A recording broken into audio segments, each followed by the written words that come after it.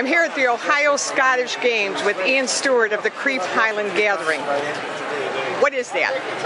Uh, Highland Gathering um, is a Scottish Highland Games that has been going now for 130 years. We celebrate this year. Um, it has been twinned with the Ohio Scottish Games now for several years, and every other year representatives of ourselves and Ohio Scottish Games travel to each other's games um, to enjoy the friendship. And where is Crieff? Crieff is in Perthshire, in fairly central Scotland. Uh, beautiful part, probably from our point of view, the best part of Scotland, but a very beautiful area in Scotland. Okay, now you made an announcement earlier that involved the Prince. Can you tell me about that?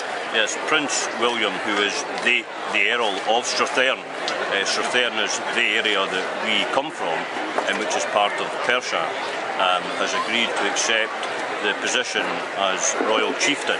Uh, this will mean that, and we are keeping our fingers crossed that he will attend our games at some point in the future. Uh. What's involved with being royal chieftain? Well, it's a it's a case of he will come along and, Hi, and the caber, use the same as an ordinary chieftain.